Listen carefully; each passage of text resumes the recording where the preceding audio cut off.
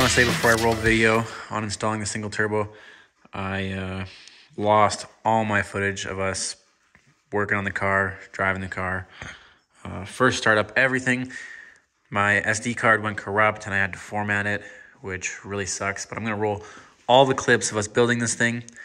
And you guys might wonder why the car is apart right now, but I'm going to save that for the next video where I tell you guys why the car's apart, what happened, and uh, yeah, it's not looking too good, but we're gonna get this baby back and running, so.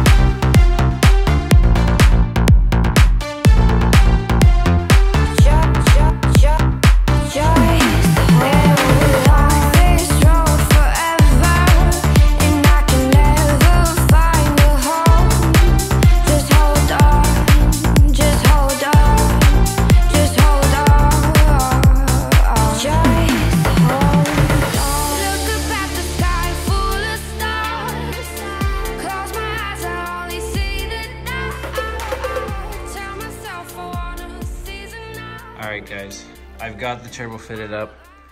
Looks really, really good. Um, did a whole bunch of maintenance. Basically, rerouting the coolant tank, power steering fluid reservoir.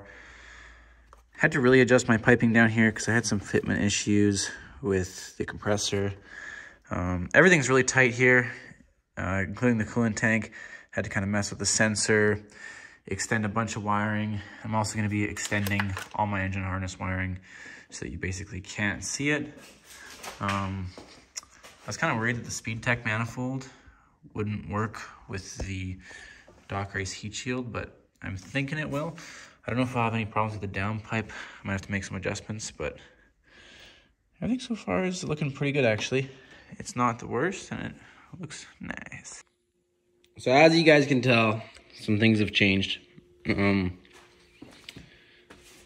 got the turbo kit mounted. Got the base tune flashed. Went ahead and uh, decided to drive around the block. Probably drove the car for 20 minutes, just making sure everything was dialed in, no leaks. Had some leaks I had to sort out, but uh, drove it a few more times to make sure it was okay. And unfortunately, we've got a really nasty tick that's developed.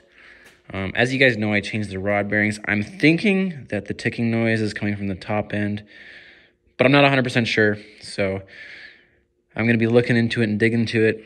Hopefully, I don't need a new motor, but uh, you got to pay to play. This is all part of the game. Um, the I will say this is like nothing I've ever driven, and I'm so excited and really bummed out that the car is out of commission.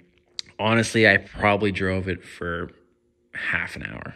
Probably did a few wide open throttle pulls, but uh, really performed well. But you know, high mileage car, weak point, a little more power, something's gonna break. So yeah, I think uh, based on the noise we got, I think it's something in the top end. I'm thinking a lifter. Probably needs cams and lifters. So we're gonna look into it and we'll let you guys know what we find. I think the first thing I'm gonna do is I'm gonna crack open the oil filter cut it open and just see how much metal we have in there. If we've got a lot of metal, then we know we've got a serious failure. And, uh, you know, if we've got a serious failure, then it might just be worth pulling the motor and doing a full rebuild. But.